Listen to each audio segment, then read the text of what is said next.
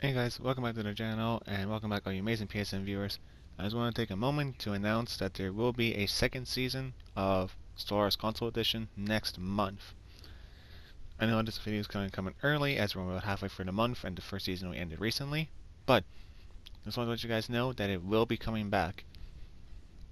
And just kind of run, wanted to run you guys through the premise of it and what to kind of expect in the next season. So basically, you guys know kind of got our asses kicked by the Khan. And that Project Nexus was activated to send ships for a wormhole. Or at least that's, you know, in the lore of this human species that we got going. And the whole human race thing. So, the next bit to that is, let's go over here um, to summary. And you can read that. Uh, so we couldn't find any planets to live on that were suitable for us to live on. So we ended up merging all of our arcs and you know whatever ships we had to, into stations basically to continue to live. But over time, you know, as time went on and stuff like that, eventually we got so adapted to artificial gravity and artificial air and stuff like that that it just became next to impossible for us to be able to inhabit anything with pure air, natural oxygen, and gravity and stuff like that. So that's why I took the, where is it?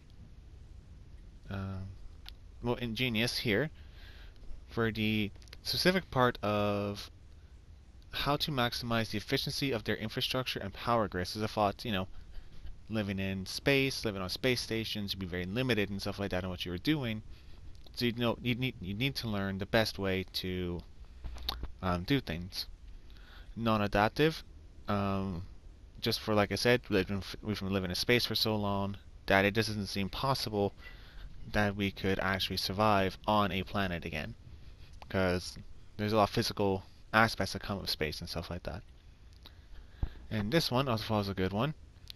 Um, that resources must be uh, must be conserved and recycled, which again, I figured coming from a space dweller start, this would be another good one because you're in space, you have limited resources, you gotta make do with what you have. So I figured that would be a good one, because you'd be recycling parts, you'd be repurposing old things, and remanufacturing things to work for the situation that you're in. So I thought that was a good one to take, just so, you know, kind of fit the story. I'm not bothering with any of these, really, because I really don't know if any of these would fit with the with the lore. If anyone has any suggestions to spend the last point, um, let me know. Whatever you think might work. But yeah, this is just what I went for to kind of make the story work a little bit. Um, also went for authoritarian because I figured, you know, in our space station, you really need to crack down and keep people in line because, you know, can't be having like rebellions and stuff like that pop up and power struggles and stuff. And that's also where police state comes in because you got to make sure people are doing their jobs, make sure people aren't stealing supplies. That you know, even that one, you steal one loaf of bread, that could really screw up someone's rations for the whole week. Because again, space station, you don't have a lot. You really gotta manage that. Um, the xenophobe kind of comes in because, you know, we kind of got screwed over by our allies in the last season because they didn't help us. They kind of left us to our own demise, and our neighbors, they just surrendered to the Khan Instead of, you know, uniting to fight the Khan. So, we don't really trust aliens anymore. It's just been so bred into society now that we just don't trust them to protect us. We have to protect ourselves. Because if you remember the last season, if you were here, that's what it came down to. We had to protect ourselves, and that didn't work very well. Since condemned. And I figured this would be an ergo on merchant guilds. There's going to be a constant barter and trade of supplies on the stations for stuff that, you know, engineers would need, or doctors, just general people to survive. So I figured this would be another good one, especially for its description. A number of powerful and very influential merchant guilds have risen to prominent positions. Ignore that clanning, that's my cats chasing each other around. uh, prominent positions in this society, they hold significant sway with the government. And I thought that is a very good one.